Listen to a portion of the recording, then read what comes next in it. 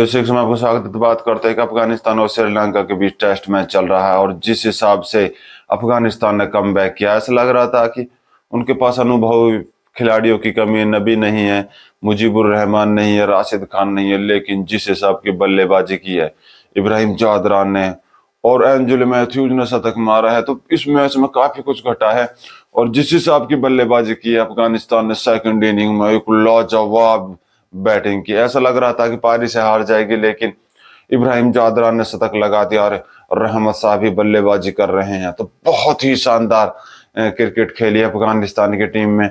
अनुभवी खिलाड़ी नहीं है, लेकिन जिस हिसाब की उन्होंने बल्लेबाजी की है, शानदार बल्लेबाजी की है।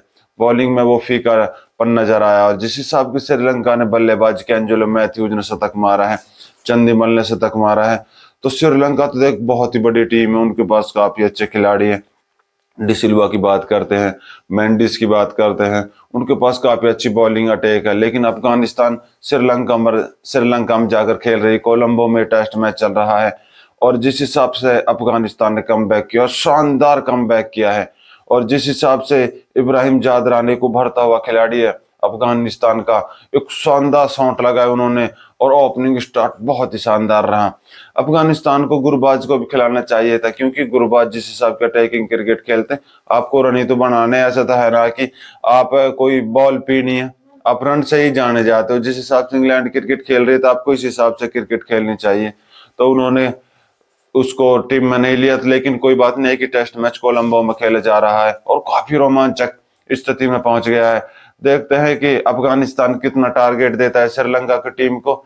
और श्रीलंका भी एशिया की ऐसी टीम है कि जहाँ पर कोलंबो में चौथे या पाँचवें दिन ज़्यादा मदद मिलती स्पिनरों को। तो श्रीलंका के लिए भी काफ़ी रहा आसान नहीं होगी, क्योंकि 220 या 25 रन का टारगेट दे दिया अफ़गानिस्तान ने। श्रीलंका को हरा सकती है। और श्रीलंका के पास अभी एक विकेट गिरा है, उनका नौ विकेट बाकी है। तो श्रीलंका ने जिस हिसाब की बल्लेबाजी की, काफ़ी शानदार क्रिकेट खेली, श्रीलंका ने और बात करते अफ़गानिस्तान ने लाजवाब क्रिकेट खेली। और जिस हिसाब के उनके पास बल्लेबाज अहमद शाह इब्राहिम जदन, एक शैली के बल्लेबाज है, दोनों काफ़ी अच्छी बल्लेबाज करते हैं। शाहिदी को काफ़ी अच्छी क्रिकेट खेलनी होगी।